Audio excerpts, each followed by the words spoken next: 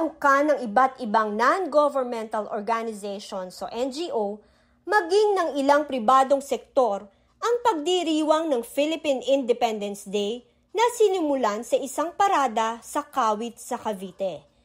Dito ay pinakita ang kalayaan ng bawat Pilipino ng may pagmamahal sa bansa.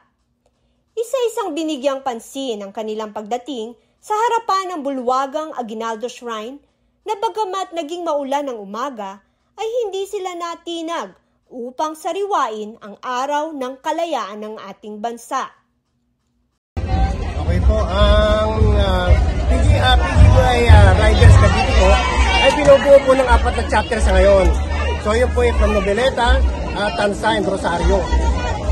Saan po kayo nang galing balit nagkita-kita? Papunta dito po. Bali ma'am, uh, Rosario, then uh, from Tansa, Rosario, then Noveleta, then Cavite.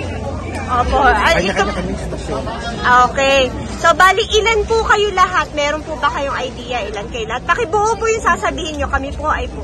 Kami po, kami no, binubuo po ngayon ng uh, 50 members, uh, active 50 members po.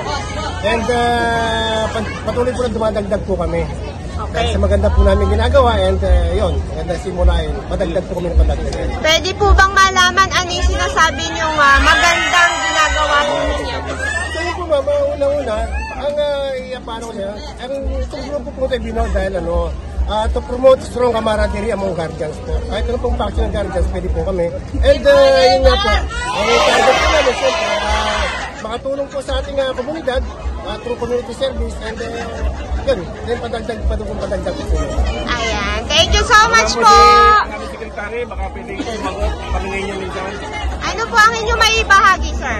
Ang ito po, ay yun nga, katulad sinabi ni Press kanina, ah yun, camaraderie among guardians, at saka po yung aming advocacy na road safety, kailangan malaman ng lahat, at saka yung karapatan nila sa kalsada bilang ah, motorista. Yun po Thank you, yung aming advocacy.